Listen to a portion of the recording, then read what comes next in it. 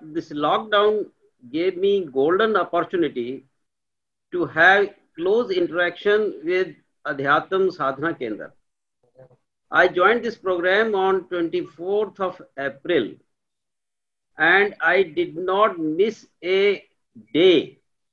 This shows that I am feeling great and to do the pranayam yoga meditation has come naturally from within.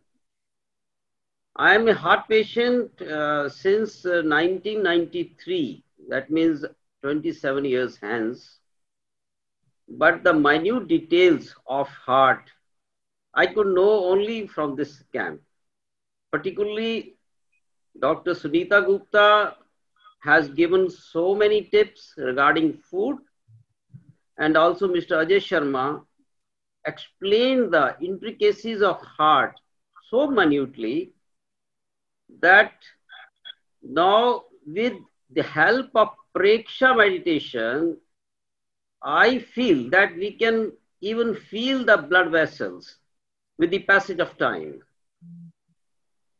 This is a united, consolidated program combining yoga, meditation, knowledge, dhyan, which is not available anywhere in the world.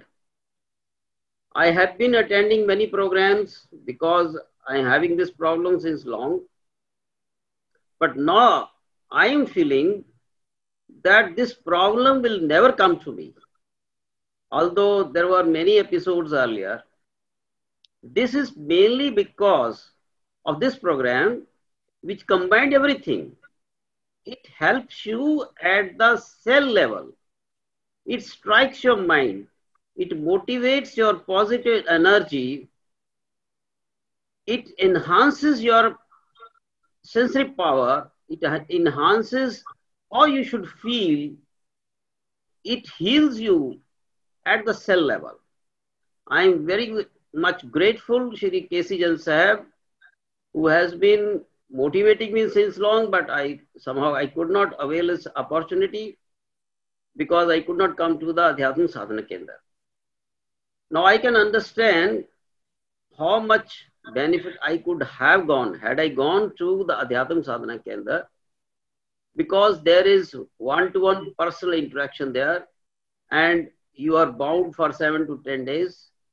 Definitely in a period of seven to 10 days, I feel that uh, you have a path ahead of you where health is bound to be gained by you and uh, there will not be any disease.